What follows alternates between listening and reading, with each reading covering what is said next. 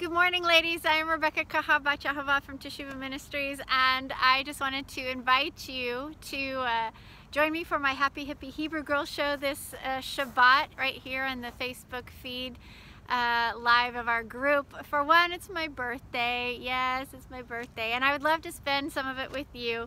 I will be 49. Oh my. So I've got some things to share with you about that. Like I feel like I've had 12 lives and and some people have said, wow, you look so young, you know, what do you do? So maybe I'll share a few things about how I, how I feel about being 49 and the process up to this, the journey up to this point and how I stay kind of young, I guess. anyway, but also I don't want you to, I want you to also come to the show because we're going to do an overview of the calendar. So we're going to look through the whole year. We're going to, we're going to start off the head of the year. So that's the next feast. The next festival is Rosh Hashanah. The true biblical Rosh Hashanah is the head of the year or the New Year's according to Papa in the spring. We're, we're going to kind of step back and look at the, the whole year. Join me in a whole year of going through the feast together. So we're going to start the year off uh, with Rosh Hashanah in a couple weeks.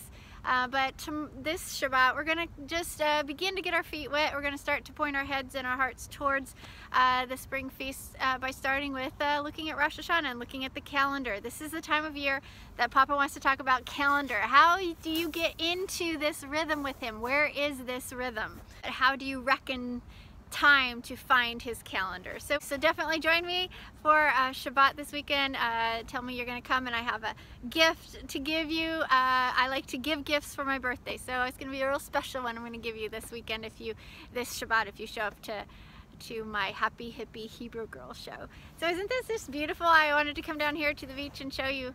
This is a huge amount. This is Lake Coeur d'Alene and there's just a ton of fog out there. But this is where a plane, uh, they have some planes that take off and on. And then I'll just swing around here. Here's the resort behind me. Beautiful place, beautiful, beautiful place. Lake Coeur d'Alene and uh, two really uh, wonderful things on uh, the waterfront here. so I will see you on Shabbat. All right, ladies, have a wonderful week, the rest of the week. Hope that you had a great Purim. We've got so many wonderful feasts coming up. So we're gonna get into rhythm and to sync with Yehovah. All right, see you then. Love you, bye-bye.